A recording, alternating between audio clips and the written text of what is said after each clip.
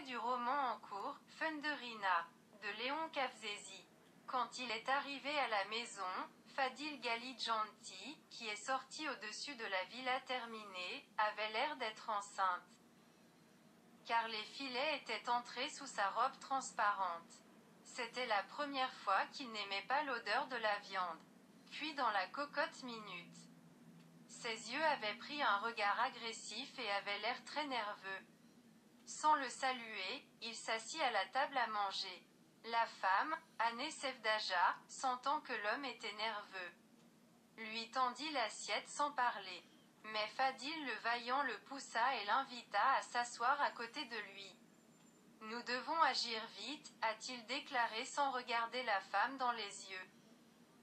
Si nous n'obtenons pas le droit d'utiliser la villa d'ici une semaine, ils amèneront le et raseront la villa, vous comprenez. Point d'interrogation. Je sais, dit brièvement la femme. Mais comment allons-nous faire? Le visage de Fadil, aux yeux corrodés, ressemblait à un coin de mur où les gens ronflent la nuit. Nous demanderons à Dante Vodka combien d'argent il souhaite nous aider à rendre la villa légalement nôtre.